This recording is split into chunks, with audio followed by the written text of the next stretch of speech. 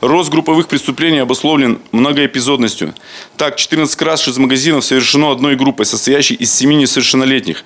Три кражи совершены в 2018 году группой несовершеннолетних из двух человек. Данные группы разобщены, поскольку лидер по решению суда направлен в специальное учреждение закрытого типа.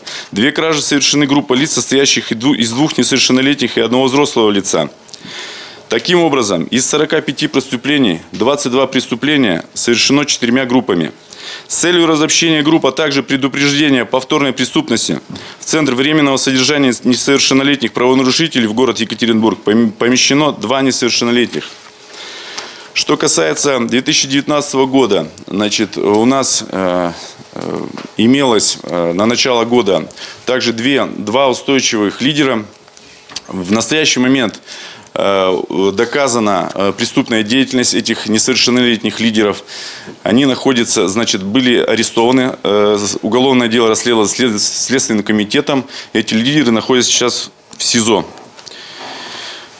Таким образом, они, значит, у них, они не могут оказывать значит, влияние на остальных несовершеннолетних, что, думаю, даст положительный результат.